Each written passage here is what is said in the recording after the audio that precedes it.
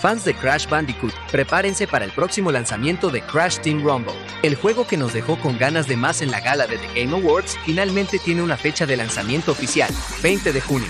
Este verano será épico, pero eso no es todo. Tendremos una beta cerrada disponible del 20 al 24 de abril para todos aquellos que reserven el juego. ¿Están listos para enfrentarse a sus amigos y familia en emocionantes partidas multijugador online? Crash Team Rumble les ofrecerá la oportunidad de hacerlo. Podrán elegir entre 8 personajes jugables, cada uno con habilidades y ataques únicos. Y para hacerlo aún más emocionante, podrán elegir entre tres roles, anotador, bloqueador o refuerzo. Podrán personalizar su personaje para que se adapte a su estilo de juego y lograr la victoria a cualquier costo. El equipo de desarrolladores de Toys for Bob ha trabajado arduamente para ofrecer una experiencia única y emocionante. Han ideado conjuntos de movimientos y diferentes formas de jugar para cada personaje. Han puesto cariño en cada detalle y el resultado es un juego que nos hará pasar horas de diversión. No pueden perdérselo. Crash Team Rumble tiene muchas opciones para divertirnos.